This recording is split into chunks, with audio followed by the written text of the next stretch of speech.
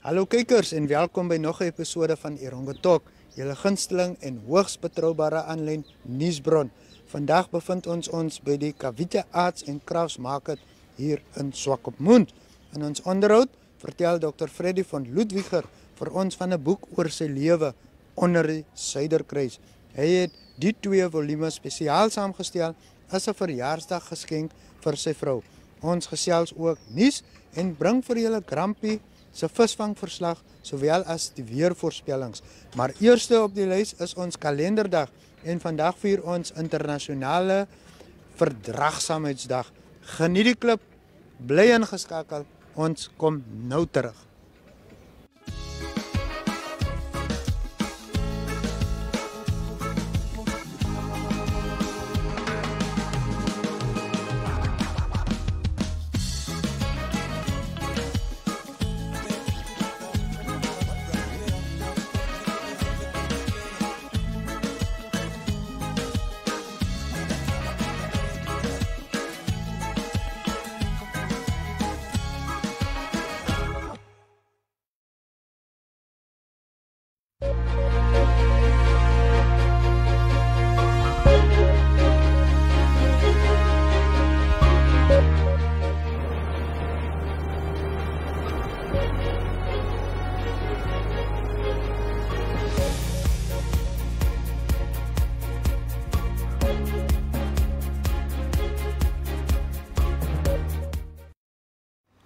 In die nuus vandag, verskeie maatskappye en individue het hulle hande diep in hulle sakke gesteek en altesaam sowat 1.7 miljoen geskenk vir die bou van 'n ouete huis in Narwel. David Williams, die voorsitter van die Narwel Ouete Huis se direksie, het tydens 'n gala diner wat ge gehou is om geld vir die projek in te samel, gesê die idee om 'n ouete huis in Narwel te bou het reeds sowat 20 jaar gelede ontstaan. Die projek se tegniese adviseur is Said Saban het gesê sowat 22 miljoen word benodig om die fasiliteite voltooi wat uit 58 wooneenhede, 'n kliniek en 'n saal sal bestaan. Uh Saban het verduidelik dat die ou huis uh sal in twee fases gebou word. Die eerste fase behels die konstruksie van sowat 50 eenhede, 'n saal en 'n kliniek. Die oorblywende eenhede sal in die tweede fase gebou word op die perseel waar die huidige fasiliteit vir bejaardes geleë is. Die wooneenhede met hulle enkel persoon of 'n paartjie sal huisves bestaan uit 'n badkamer, slaapkamer, kombuis en ook 'n sitkamer. Wafas Bay se burgemeester Trevino Forbes het gesê die munisipale raad ondersteun die inisiatief en het die versekering gegee dat die goedkeuring vir die grond gegee sal word. 'n Veiling wat ook deel van die geleentheid was, het sowat 210 000 Namibiese dollar ingebring. Van die items wat opgeveil is, was die karatepak wat Leonard Martin gedra het toe hy as wêreldkampioen aangewys is, 'n reusiem van die plaaslike renjaer Ellen Martin en die plaaslike rugbyspeler Chad Plato se trui wat hy gedra het toe hy Namibia by die wêreldbeker verteenwoordig het. In ons tweede storie, die vreugdevuure brand hoog in Narwel waar lede van die Sheikh Dwellers Federation of Namibia begin het met die konstruksie van die fondasies van hulle huise. Juliana van Wyk is die eerste van 'n groep van 68 lede wat in alle erns weggespring het met die grawe van fondasies vir haar een slaapkamerhuis op erf 3944 in Fayefistraat. Die SDFN gee aan ons 'n lening om die netwerk te kan voltooi wat die konstruksie van die struktuur behels.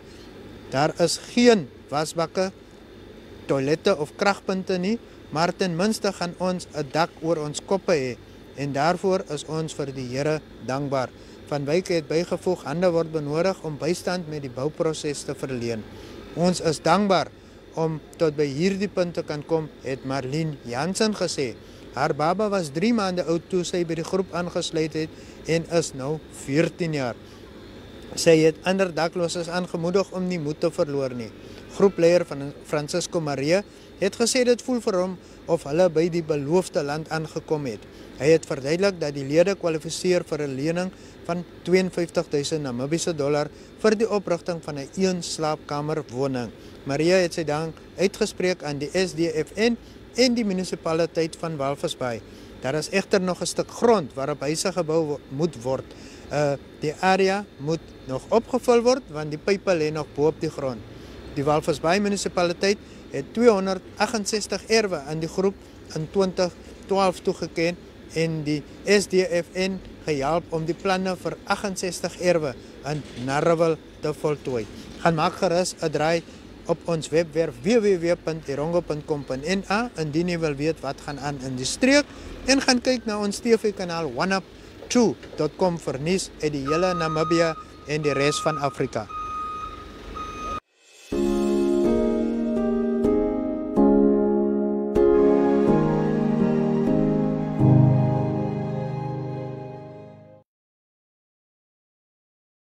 Ek het 'n baie interessante man hier by my vandag. Uh dokter van Ludwiger. Welkom hier by ons. Ja, goedemiddag. Otis, hier bij de kantoren van de Republikein. Ja, Irongo, Irongo. Van Irongo, ja, dat is. Nou, dokter, uh u het onlangs hierdie twee volumes self ge, ge, geprint, self gebind. Waar, waar is die idee vanaf gekomen? Vertel voor ons. Uh, die ding is eigenlijk zo, ik is veearts van beroep. Ik heb gewerkt tot op mijn 80ste verjaardag als veearts. Ja. Hier in Nederland. En uh, ik heb die laatste paar jaar um, zo freelance toeristen in die land rondgereden, want ik is bij lief die land. En bij lief die dieren natuurlijk ook. En uh, daar was een zekere man van Hamburg, Ernst Schrader. Ja. Hij, ons daar bij die bij die kampvuur bij elkaar gezet, daar bij die Okavango en ik bij die konijnen. Ja, ja. En uh, toen zei voor mij, Freddy, jij het zo, je vertelt zo interessant van je leven. Je moet, heb je al iets opgeschreven? Toen zei ik, hoe moet ik opschrijven? Um, ik zei, mijn kenners kennen al die stories en toen zei ja, maar wat van jouw kleinkinders? Wat ja. nou nog niet daar... Die nageslag. Wat nog niet daar is niet. Ja, ja. Toen zei man, maak een plan, schrijf die ding op. Ja, zie. En toen had ik de idee bij mijn post gevat, ja, ik moet maar beginnen opschrijven. Ja, zie. En uh, toen had ik nou beginnen, ik is eigenlijk in Tanganyika, daar destijds in Tanganyika geboren. Ja. Onder die Southern Cross, onder die Zuiderkruis. Yes. En uh, ik is eigenlijk uh, een kind van Afrika. Daar zie daar zijn nou, nou die, die, die titel van hierdie volumes. Waar het dit vanaf gekomen? Is het omdat u hier geboren is? Ja, ja dit is werkelijk zo. Uh, ik heb feitelijk elke avond kan de mensen, als er nog niet mis is niet, of wolken, ja. dan zien ons die Zuiderkruis. Ja. En ik is nou werkelijk onder die Zuiderkruis geboren. Toen besluit ik een goede titel voor mijn, voor mijn boeken. Ja, zei. Nou nou u het begin wanneer het u begin skryf in hierdie in hierdie twee volumes want ek sien dat dit strek oor die die eerste een strek oor die periode 1938 tot 2001 en dan die tweede een is van 2001 tot 2021. Om je waarheid te ehm um, toe ek nou klaar is uh, met my veeartswerk daar om en by 1980, uh, ja. toe het ek bij mijn computer gezet en begin opschrijven. Ja, zie. En uh, interessant is, ik is eindelijk, uh, wat ik genoemd heb in Tanganyika, de huidige Tanzania, geboren. Ja. Um, mijn pa, mijn ouders was al twee, het Duitse paspoort gehad. En uh, ik was nou onlangs in uh, Tanzania. En toen had ik, um, ze vragen die mensen eindelijk uh, beambte daar van die van natuurbewaring. Hij vraagt van mij nou wat zijn paspoort heeft. Toen zei ik, ik heb nou wat ik in Namibië blij, een Namibische paspoort. Ja. Maar met geboorte kon ik van mijn twee ouders het Duitse paspoort heen. Ja. Maar omdat ik nou in Tanzania geboren, in Tanganyika daar die tijd, ja. als Britse kolonie. Uh, toen kon ik uh, een uh, Britse paspoort ook krijgen. Dus ja, ik, veelzijdige man. Dat is een tweede, ja. Ja, hier is een veelzijdige man. Ja, en ja, toen, ja. Toen ik nou mijn studies, ja, toen verhuisden we nou hier naar, naar Zuidwest toe. Dit is nou weer Oost-Duitsland gegaan. Mijn opa keer naar paarden geteeld en ik ben met paarden groot geworden. Ja. En uh, ja, toen kwam ik nou hier naartoe, toen met het met de Duitse paspoort. En toen heb ik natuurlijk uh, die Zuid-Afrikaanse paspoort uh, genaturaliseerd.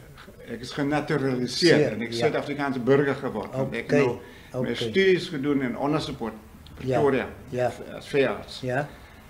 En uh, dit was nou de Zuid-Afrikaanse paspoort. Nou heb ik hier in Nederland natuurlijk een Namibische paspoort gekregen en ik deed wat ik nog vandaag heb. Ja. Ik, ja. ik nog altijd met de Namibische paspoort. En is je trots op hem? Baie trots op ja, nee, ik is mm -hmm. happy. Dit is mijn werkelijke in Duits mijn heimat. Ja. Want ik zo baie rondbeweeg. Uh, mijn ouders, uh, mijn pa is geïnterneerd in 1940, 1940 in, mm. in Arusha. Ja. En toen is ons uh,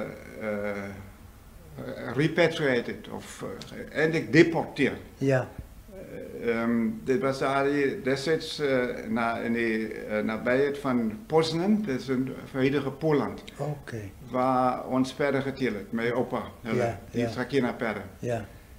En toen was ons uh, die paar jaar tot de Russen gekomen, tot 1 januari 1945. Toen was vlucht voor de Russen. Ja. Toen is ons gevlucht met die perden. En uh, die, die Poolse mensen wat samen met ons gewerkt was, waren ons Duitsers bijna goed gezind. En uh, toen kregen ze aanvallen, uh, toen ons op die trek was met die paarden, met die 100 paarden, omtrent, ja. was omtrent 100 paarden. En dit was nog net mijn ma. En ik heb nog oude zuster gehad, mezelf en een klein boetie, hij is maar net, was hij net drie jaar oud. Toen is ons met een lichte koets, met de, en ik, wat, wat ons net voor jachten gebruikt. Oké. Okay. Uh, het is gevlucht uh, voor de Russen. En toen kwam die luchtaanvallen. aanvallen. Ja. Toen hulle met machinegeweren op die treks geskiet. En daar die Poolse koetser het gezegd, ons moet wegkomen van die grote trek, van die grote chaussee, zoals ze gezegd. Die, ja. Ons moet hier zo, ja, zo woud uh, nabij, ons moet ja, dat was vrek koud ook, was zo ja. minus 25 graden Celsius. Ja. En alles toegesneeuwd. En toen zei ons moet nou wegkomen van die grote trek. Uh, en toen, toen zei ze mijn ma, gooi alle koffers uit, gooi het weg. Ons moet nou lucerne gras, ballenlaai en haver voor die paarden. Anders ja. zijn ze nooit maak tot bij Frankfurt aan de Oder. Daar zie Dit was zo omtrent, de tijd zo omtrent 150 kilo's wat we met die paarden waren. Gevlucht, ja, ja. En uh, dat was een goede plan van. Aha. Toen gewoon mijn ma dadelijk die ding besef, hier is ernstige zaken aan gang. Ah, Alles weggegooid. Toen is net per korsaal. ja, ja, ja. En toen maken ons dit, die laatste twee dagen ook amper geen kost meer gehad. Nie, Zo. En toen kwamen we bij Frankfurt aan de Oder. En die Russen, en toen werden ons met die paarden over die Oderbrug. Toen zitten twee Duitse kanonieren. Toen zeiden span uit die paarden en hard op die brug. Ons moet die brug nou opblazen, want die Russen wow. is drie kilometer achter jullie. Ja. Zo. toen geven ze die paarden nog een pet op die nek. En toen moesten ze alles net, net zo los. Net zo los. Ja. En voor die Poolse uh, koetser, dank je zeer dat hij ons leven gered heeft. Ja. En toen is het over die brug en toen ons, uh, toen mijn oma. Mijn ma is geboren van Zeitlitz, familie ja. van oma Roel Zeitlitz. Uh, toen is mijn oma nog in Berlijn. Ja. Mijn opa van Zeitlitz, mijn ma's uh, pa, um, hij is in de Eerste Wereldoorlog uh, gewond en ja, hij is doodgeschiet eindelijk. Aan het einde van de oorlog, 19, 1918, 17, 18. Mm. Anyway, toen is ons nog in Berlijn in met die trein. Ja. En dit was verschrikkelijk wat ze gezien. Berlin was kapot geskiet, stukkend geskiet. Er was lekker geleden, left, right en center. Wow. En toen kwamen ze bij mijn oma uit. En toen kregen ze warm ertjes op. Mm, mm. Dat zal ik nooit vergeten. Dat de ja, eerste ordentelijke kost wat ze gekregen. En, en, en Frankfurt? Uh, dit was nou in Berlijn. Want okay. ze hebben die trein, uh, ja, op die vracht, uh, Frankfurt... Um, Stasi. Okay. Daar was net soldaten, bij Duitse soldaten. En eh, die, die treinen daar die tijd, daar kon mensen die vensters zo op en af eh, schuiven. Ja. En uh, toen het, uh, is ons zomaar daar in zo'n uh, compartiment ingegooid. Er was net Duitse soldaten en dat was bijna, bijna vriendelijk. Hm? En mijn ma staan op die, op die perron, toen dacht ik, joh, en het begint ons huilen. Maar mijn ma toen ook, die, die Duitse soldaten hebben ons van dadelijk van hun commissiebrood, harde brood Ja. gegeven, wat ons bij genieten. Ah, En toen klim mijn ma toch ook weer op die trein ons kreeg weer, Ah, kreeg voor ons. Ah, sê. en Nou, toen het ons bij in Westwest zijn uitgekomen eh, met, die, met die trein gereden. eh, tot bij een plek in eh Detmold, dat is nabij Bielefeld, niet ver van Hannover. Hannover. ja, ja. Ja, zo was die vlucht. Ja, sê. Dokter nou allerlei ek uh, ondervindinge is in hierdie twee volumes. ja, maar net kortelijks. Dus mensen konden niet alles opschrijven. nie. Daar sê, maar nou vir wie het u dit gedoen? Ja, eindelijk heb ik dit eh voor mijn vrouw gedaan. Mijn, mijn vrouw is ieder jaar 80 jaar oud geworden. Toen dacht ik, dit is nou een geschikte ge- eh, verjaarsdag geschikt voor haar 80ste verjaarsdag. Ik is nu 83 jaar oud. Ja. En ik heb nou eh, eh, amper het niet recht gekregen om nog bij de tijd alles bij elkaar te krijgen. Maar Hmm. anyway, ik, dit was het op 31 mei ieder jaar verjaard. Toen geef ik die twee boeken voor haar Wow. als een present. Nou nou nou u is baie baie inligting in hierdie twee volumes. Wat is vir u die naaste aan u hart? Ach, eh, die naaste aan mijn hart, behalve nou mijn eigen familie en kennis, eh, ons het nou eh, zeven kleinkinders, eh, is natuurlijk die liefde voor die dieren ook. Ja. En ik heb nou ze- zelf 26 jaar uh, showjumping gereden. Hoofdzakelijk die eh, eh, three phase events. Ja. Dat is die combined dressage, eh, showjumping en de cross country course. En die heb ik hier in die, hier die land bij gedaan. En ik heb in Zuid-Afrika ook gereden. Ja, sê. En eh, ja, in die Kaap. En eh, ja, dat was eigenlijk mijn, mijn eh, tweede liefde, is die, Ja, die zie. paarden Ja, zie. en die dieren. Hoeveel bladsye het ons hierso? Um, dat is amper 600, zo 500, 580 of zoiets. Ja, sê. En dan die materiaal van die materiaal hier uh, is oorspronklike materiaal wat u bymekaar gemaak het. dit, dit, dit is alles wat ik zelf bij elkaar gemaakt heb, mijn eigen foto's en zo aan. Ehm, ons wou het, eh, ons hadden eind- ja, eindelijk van die ehm, wissenschaftliche Gesellschaft in Windhoek. Ja. eh, of hier zo in die museum, en ik, eh, sorry, hier zo in die museum, Ja. Semcon Library. Daar was een dame wat, eh, wat ik daarvan vertelde. Zij was eigenlijk de eerste wat het ook die eerste volume gelezen heeft. Ja. Toen zei ze, zo interessant, dit moet eindelijk eh, geprint worden. Ja. Ik moet het voor die wissenschaftliche Gesellschaft Windhoek geven. Toen was Gunther van Schiemann, hij is in het comité daar, en hij heeft het naar hulle toe gevat. En hij heeft het alles doorgegaan, toen zei hij ook, oh, baie interessant. Maar daar is zo baie van die persoonlijke dingen van familie in. Ja. Uh, je moet het net uithalen. Toen zei ik, oh, nou dat is eindelijk voor mij een onmogelijke taak om nou Ja. eh, delen, delen. Dan Want dis je- een verhaal wat u, u vertel. Ja, Dis u eie verhaal. ja. Toen Ja, zei ja, eh, d- dat is authentisch. Daar sê. Ja. Daar sê. En uh, dus uh, toen ga ik nou, ik heb nou ook zelf geprint aan de computer. Toen heb ik al die zelf op mijn eigen computer getikt en, uh, en geprint ook. Ne? Hoe lank het dit geneem? Ja, dit was um, amper drie jaar, tweeënhalf jaar. Van augustus 1980, mijn 80ste verjaarsdag. Sê. Uh, daarna had ik begin, uh, wat ons naar hier naartoe getrokken, toen had ik ook meer tijd. En nou in die um, Line Village, Ja. daar huis gekoopt. Ja. En daar had ik nou uh, tijd gehad om daar aan, aan te werken. Daar En ik zo gelukkig nou recht gekregen tot mijn vrouwse 80ste verjaarsdag. Ja, amper, amper drie jaar wat ik nou daar Ja, gewerkt heb. Het het het al hier deur gegaan. Het sy al hier Nog gelees. niet alles niet. Nee. Nee.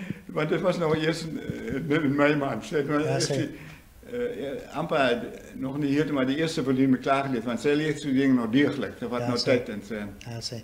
Uh enigiets wat u nog wil vir ons vertel oor hierdie twee volumes? Ja, dat is, dat is moeilijk om te zeggen. Ik, ik hoop dat eh, eh, die algemene eh, ehm, die mensen belangstellen daarin.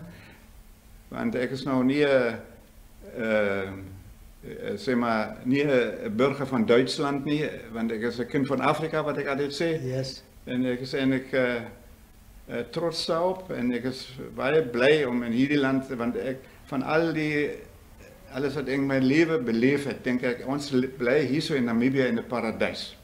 Dit is werkelijk een paradijs. Ja. Met al die dieren, vriendelijke mensen, die mensen is easygoing.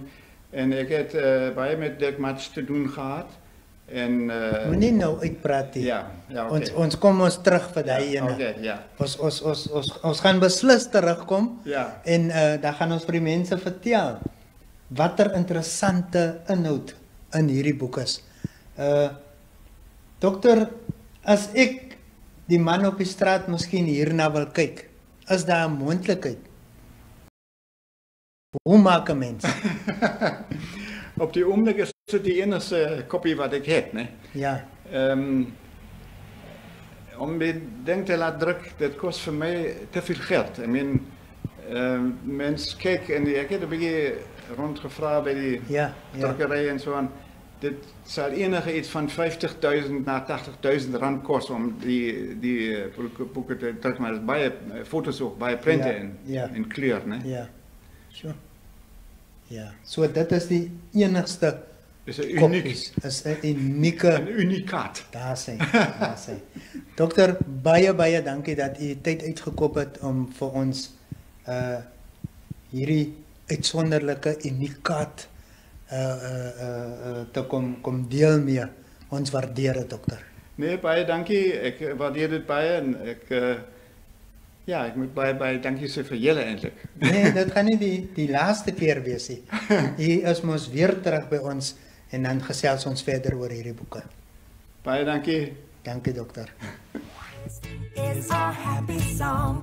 Take this ring and put it on a perfect smile, a perfect fit. We can't go wrong. Hey, let's stop the world. Just a boy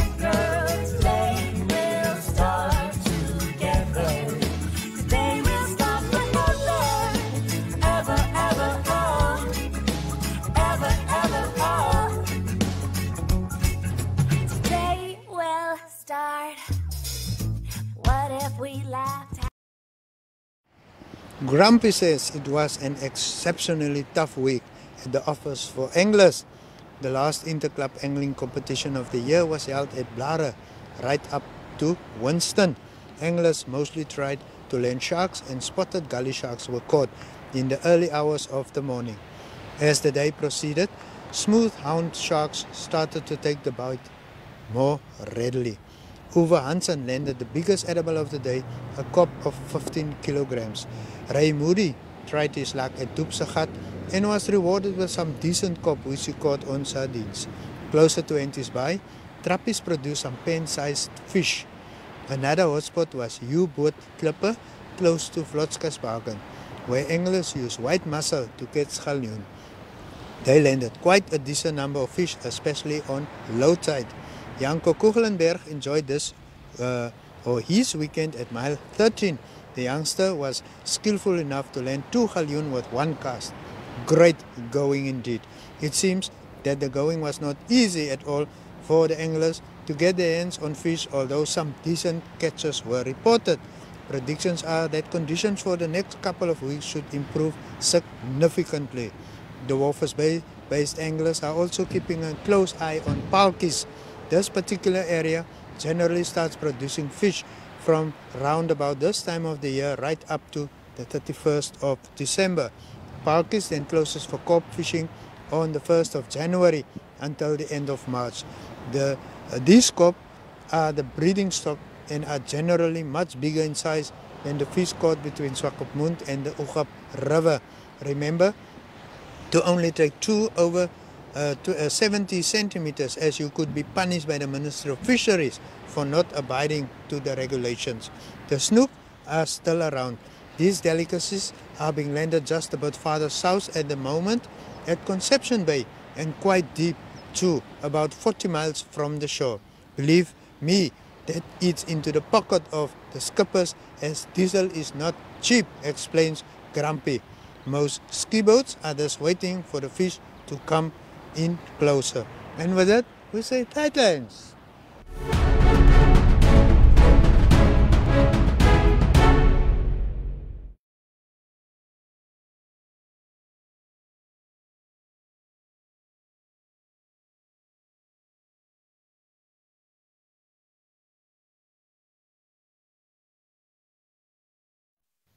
Welcome to Explore with Irongoto.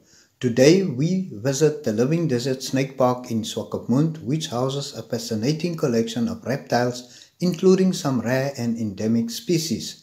Though feared by many, snakes are actually surprisingly hard to spot in Namibia.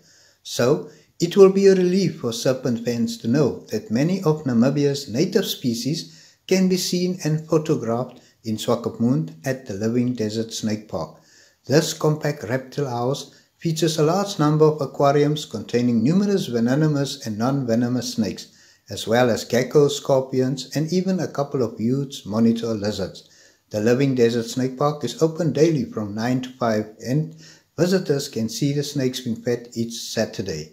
Specialized photography sessions or snake handling courses are also available by special arrangement.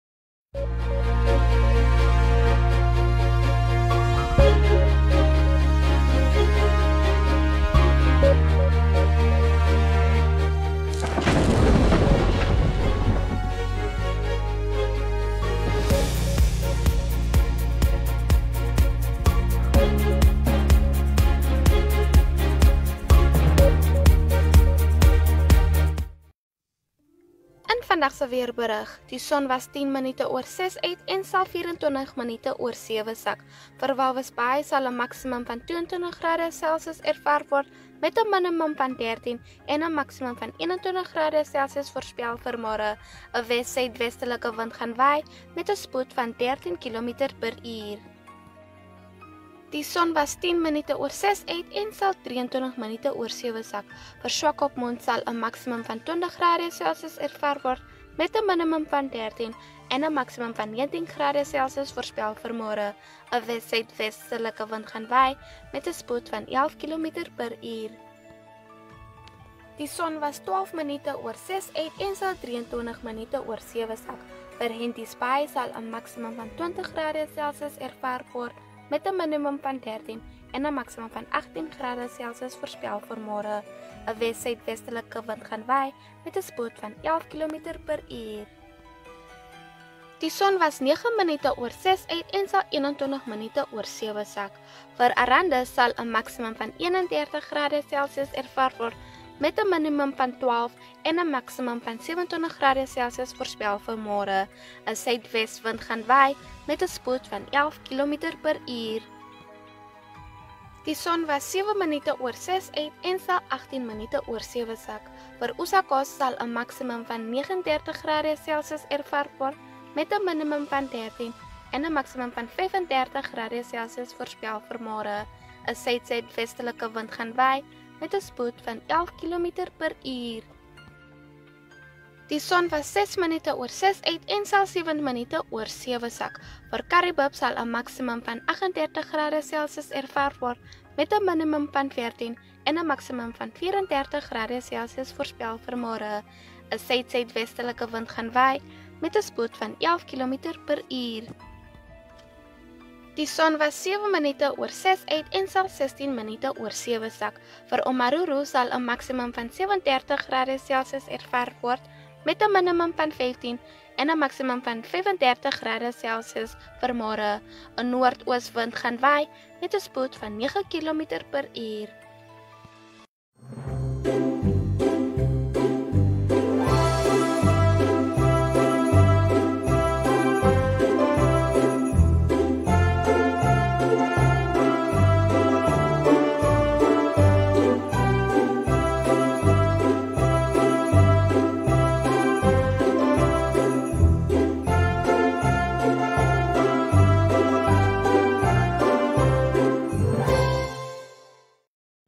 En dit bring ons dan aan die einde van vandag se uitsending.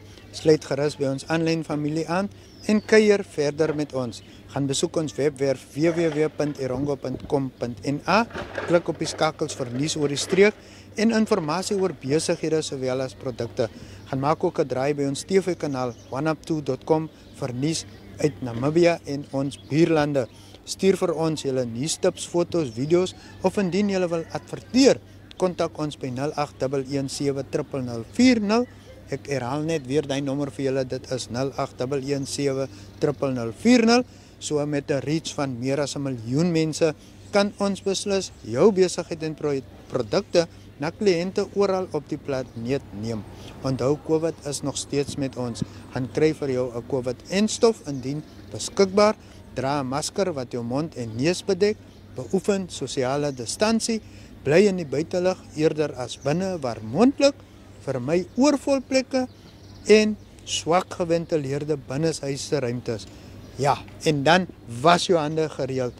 Maar vir eers en tot 'n volgende keer sê ons cheerio.